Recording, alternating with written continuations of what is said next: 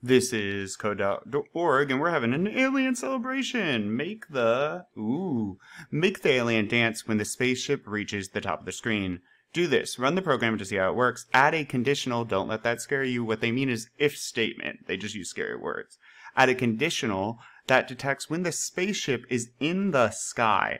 Set the sprite's animation to alien dance. Oh wait, we have multiple animations.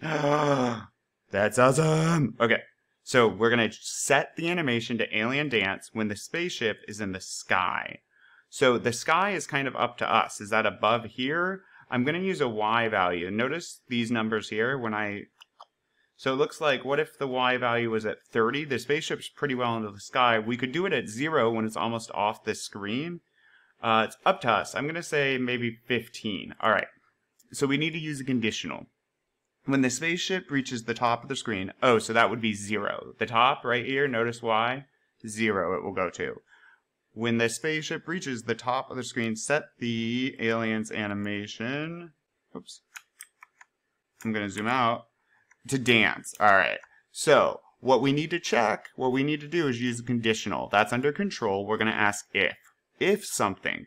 So this runs 30 times a minute. We're using a counter pattern that makes the spaceship's y value equal to the old spaceship's y value minus 3. So the spaceship would start with a y value of 200. 200 minus 3 is 197, so its value is now 197. We draw the sprite, we loop back around. Up, spaceship.y has a new y value. What is it? Oh, the old y value, we just said that was 197, minus 3 is 194. Its new value is 194. It moves up a little bit, we redraw it, and as y goes down, it looks to go up. Now we want to check if it is off the screen or if it reaches the top of the screen. So if a boolean, and what do we need to know? Well, if the top of the screen is 0, right, I would want to know if the spaceship's x, not x, y, because y is up and down, if the space ship y value is less than 0. Because if it's less than 0, it must be at the top of the screen.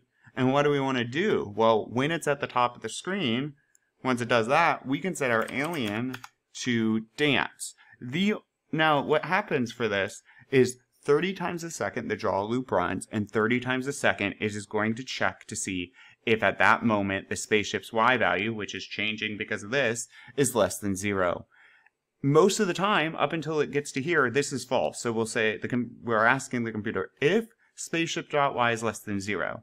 Well, what if it's at 197? This is false. The computer does not run this code in the blue mouth thing. It's false. It skips over it, but it just keeps running like normal. We then check again. Okay, so if it was at 197, then now it's at 194. Is 194 less than zero? The computer says false. No, that's not true. Skips over this alien set animation because it's in the blue mouth and keeps going. Let's say it is true. Let's say our spaceship.y is negative 4. So if negative 4 is less than 0, true. The computer says true, that is true.